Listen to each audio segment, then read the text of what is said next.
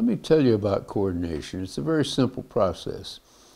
Go to our website, the Stand and Fight Club, and you'll, you'll see it there too where you can read it. But what it is is this, the federal statutes, the federal laws say that every agency of the federal government must coordinate with local government. It doesn't say which local government, so it means that any element of local government, an irrigation district, a city, a town, a village, a workman's comp board, any, any department of local government satisfies the statute. It says that the federal agency must coordinate, and in that coordination, use every practicable means to the fullest extent possible to reach consistency with local policy or law.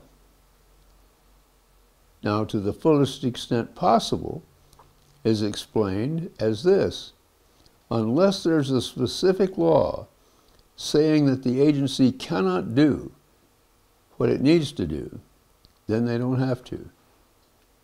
In 25 years of working with this, I haven't found a situation yet where a federal law said they didn't. And the reason is that as to the federal law that said they couldn't do what the county wants, that can be coordinated. And the agency has to come to consistency. I've seen this work over and over again. The way it works is this. You as a citizen go to your commissioners. You go to your county commissioners, your county supervisors. You go to your city mayor and city council.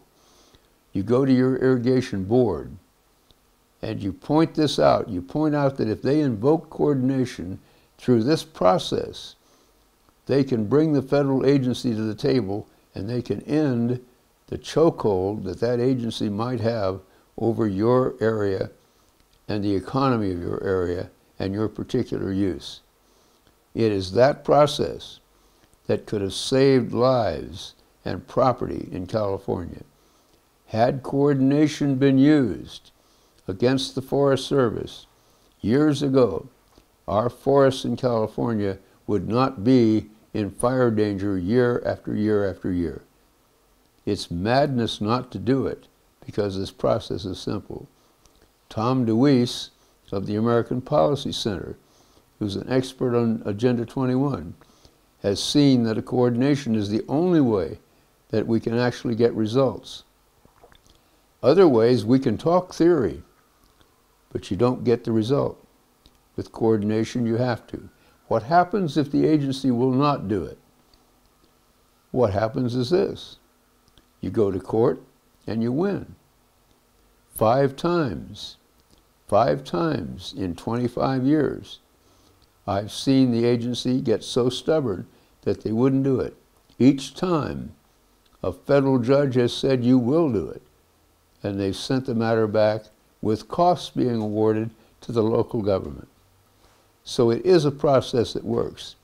You're going to hear from critics that it violates the supremacy clause of the Constitution. No, it doesn't. It's part of the supreme law of the land. It is the supreme law of the United States that the federal government must work with the local government to reach consistency with its policy. What that means simply about forests is that if the county has a policy that any forest lands in the county must be maintained so as to best prevent fire through logging, through clearing of brush, through keeping roads and trails in good condition, it will be done. The Forest Service will have no choice. That's coordination. When people try to tell you it's the same as cooperation, no, it's not. When they tell you it's supremacy violation, no, it's not. It is the law, and it is right.